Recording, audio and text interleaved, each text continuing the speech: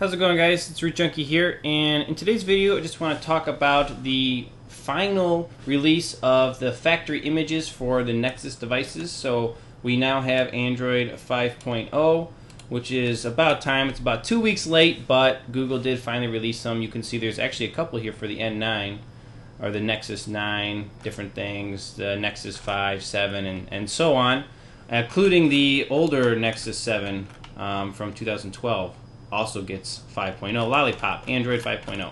So very exciting. What I'm going to do today is I'm going to talk to you and give you guys some information on how to install this. This is going to be for kind of advanced users, but we're going to talk about it. So we're going to go ahead and download the firmware, which I've actually already done. And let me just go ahead and show you. So this is the firmware for the Nexus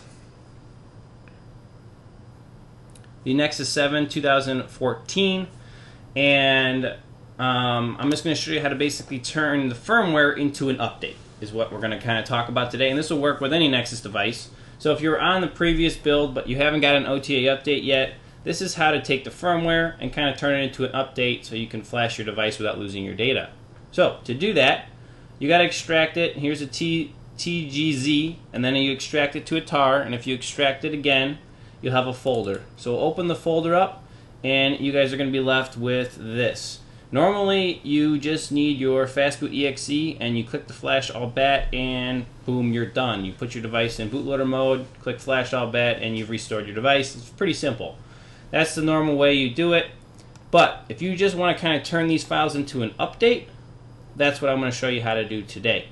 So to do that, um, we're going to do a couple things. First of all, we're going to create a new text document right there, and we're going to call this update, just so we got it all clear, easy to understand.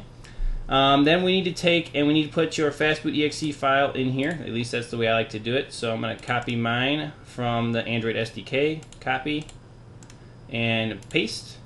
All right, so it's in here. Now we need to find out, normally the, the bat file right here does some different things, but we want to do specifically something different. So we're going to take the images, and we're going to go ahead and extract them all into this same folder. And it is extracting them. So while it does that, we're going to go ahead and set up our update text. And we're going to compare it with another text, which is the flash all bat. So we're going to hit edit on here and we're going to copy some code. So first thing we're going to copy is fastboot flash bootloader image and copy. And we're going to put it into this file. Paste. You can actually go and put it in the top. Now this is like Notepad++. Is what I like to use for my text editing. It does work real good. And then we'll we'll keep going here. Oh, I rearranged it all. Alright, and then we're to go ahead and look at the other file. See if I can pull it here, guys. Well, this finished, so I can close it out. And we've got this one. So the next command is fastboot reboot bootloader, and it gives this long command, which is like this pause thing, I guess. And then it pings the bootloader. So we're to go ahead and copy that. And we'll put that into our update text, paste, there we go. It's interesting that it came up with two lines here, but it did, so that's fine. And then from here, we just want to flash our system and our boot. So to do that, we're just gonna I'm just gonna manually type these commands in. The rest of this has to do with flashing the update, and we're not gonna do that. So you can close this file out.